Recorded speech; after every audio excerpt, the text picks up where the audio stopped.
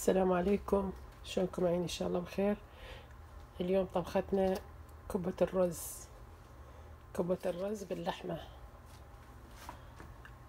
أكو ناس يسووها بصدر الدجاج أنا لا الكبة هاي بالذات نحبها باللحمة. وتكون معاها آه البصل والبطاطا. اولا تزيد الحشوة وثانيا تخفف آه كمية اللحم اللي موجودة بالهذا وأولادي يحبوها بهاي الطريقة. أضيف هاي الأشياء معها. وبالنسبة للبهارات مالتها هي السبع بهارات الملح شوية هيل. والبقدونس ما عندي الفريش عندي المجفف. فدائما أنا أستخدمه إذا ما عندي موجود لأن مو دائما متواجد بالأسواق هنا. البقدونس. ففضل استعمل الناشف. وبالنسبة للبهارات مال الرز هي الكركم الكاري الملح. وأنا عندي هنا كوبين ونص رز. هاي يعني مغسولات و... ومصفاية. هسه بس أفتح عليها الطباخ. أضيف المي بحيث المي يكون شوية أكثر من المي مال الرز الاعتيادي الرز الاعتيادي يعني كمية قليلة زيادة عن الرز. بس مالت الكبة يصير لا. أكثر لأن راح لازم يصير الرز طري. نقدر حتى نلفه وهاي البهارات مالتها.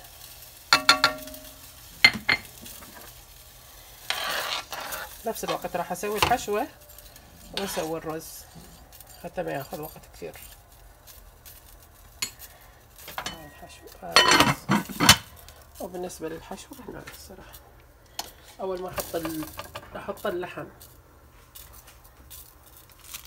لأن اللحم لازم ينشف المي مالته. يلا أقدر أضيف البصل أضيف البطاطا.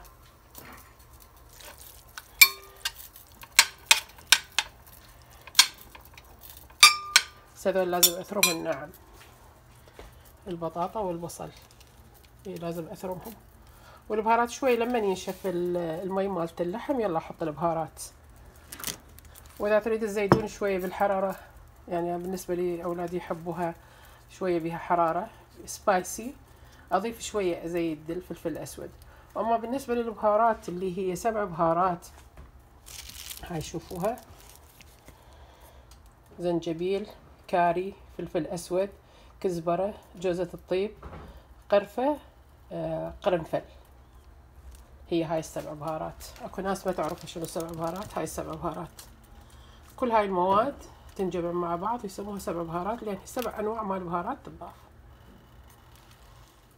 هسه أنتظر اللحم. ينشف؟ إن شاء الله. وأثرم راح أثرم البصل والبتيتا وأشوف لكم إياه. والبتيتا آه تتقلى واحد على صفحة يعني. وبعدين بعد ما أصفيها من الزيت يلا أحطها مع الحشوة. هسه أشوف لكم يعني شو هذا هذا اللحم نشف المي مالته. هسه لازم أضيف البهارات اللي قلت هي سبع بهارات. وملح. وهيل مطحون.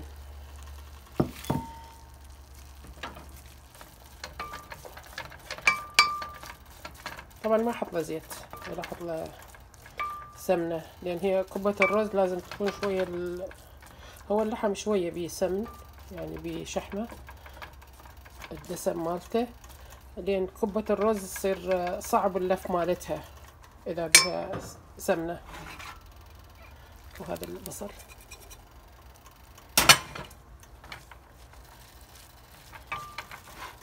مع بعض.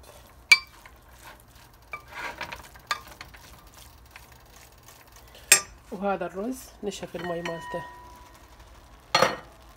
نصيت الطباخ حتى على كيف يصير يتهدر. لأنه بعدين أكو نوعية من التمان تكون تحتاج مي كثير. وأكو نوعية لا أنا بالنسبة لي هاي لا النوعية اللي تحتاج مي أكثر. كل شوية وأشوف المي مالتها لأن لازم تصير طرية حتى من أعجنها تصير كأنه عجينة اعتيادية. تنحفر وتنحشي بالحشوة مالتها. هذا اللحم والوسط ضفت له البهارات بس اريد أضيف له شوية فلفل أسود لأن نحبها إحنا شوية بيها حرارة. شوية سبايس تصير شوية أضيف له فلفل أسود.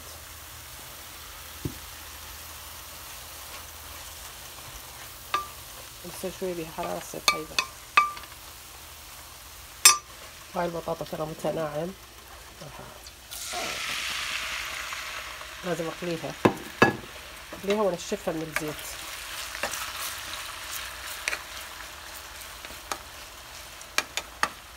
ما تاخذ وقت.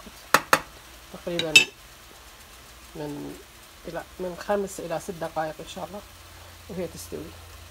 بعد ما تستوي أصفيها من الزيت وأحطها ويا اللحم. ولات اللحم استوى خلاص. هذا البقدونس.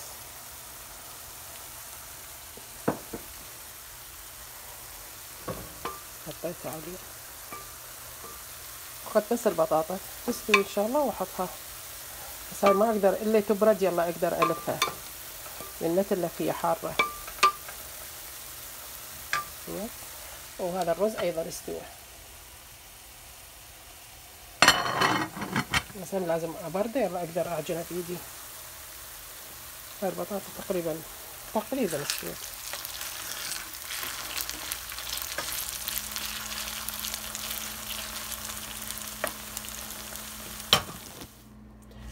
وهاي الحشوة خلصت. ضفت لها البطاطا شوف شكلها شو صار. طبعا والريحة ما شاء الله كثير طيبة والله. وهذا هذا الرز شوفي شلون يصير؟ بحيث أقدر أعجنه. بس الين حار ما أقدر يعني أمسكه بإيدي. لازم أسوي هذه. خليه يبرد إن شاء الله وأشوف لكم إياه. شلون ألف؟ وعندي هاي عندي بقايا مال حشوة مال ورق عنب بالفريزر طلعتها وعندي ورق عنب. هاي أسويها كمقبلات يعني مع مع الكبة. وإن شاء الله مرة ثانية أسوي لكم فيديو كامل عليها كيف شلون أسوي الحشوة وشلون ألفها. هاي أسويها واضيف لها أني مي حار شوية حتى تطرى الورقة ما تظل قوية. وتخف الملوحة مالتها لأن هي لين مكبوسة تصير. مثل المخلل فتصير مالحة كثير. أحط لها شوية مي حار حتى تطرى وتخف الملوحة مالتها. وإن شاء الله خلي يبردن الحشوة والرز وأشوفكم شلون تلف. هذا هي أنا عجنت الرز. شوف السماكة مالته. بس راح أشوفكم شلون الفه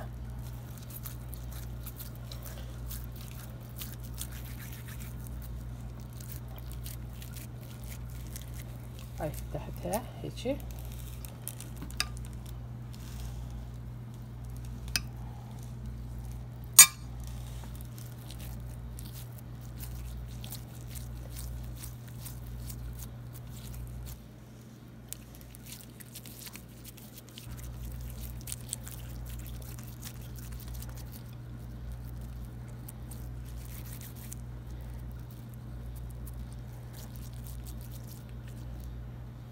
بعد أسوي واحدة مدورة. حتى تشوفوها شلون مدورة. بعد ما اخلص لازم أقليها.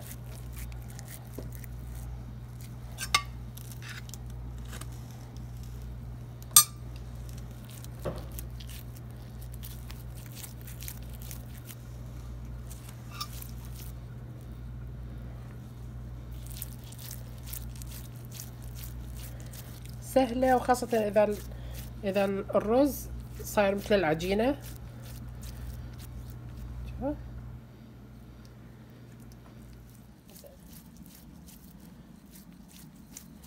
هسه أبدي أقليهن وأشوف لكم إياهن.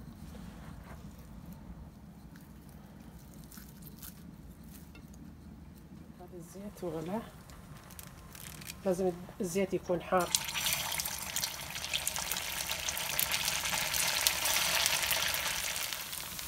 يعني حطيت هالكمية هاي قلبتهم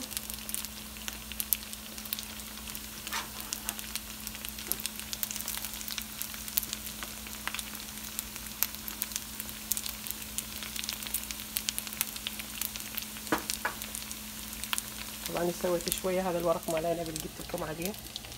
لفيتهم شوية هسه اقلبهم عشان الكمية هاي عندي هاي الحشوة جاهزة وهاي. بس مرة ثانية إن شاء الله أسوي لكم فيديو كامل. ورق العنب والملح. هاي الكبة طلعت. خلصتها. شوفوا المنظر مالتها. هاي السلطة مشكلة. هاي ورق العنب. كمية بسيطة. كان عندي حشوة بالفريزر طلعتها وسويتها. كمقبلات يعني مال مال هاي مع الكبة وأما بالنسبة للكبة الباقية اللي ما قليتها ممكن تصير بالفريزر. تبقى بالفريزر آه، فترة طويلة. أو تتفرزن ومتى ما تريد تستعملوها عادي بس ينغلي الزيت وتحطوها. ماكو مشكلة بالنسبة لها. وهذا إذا عجبكم الفيديو سووا لي like و share و subscribe. السلام عليكم.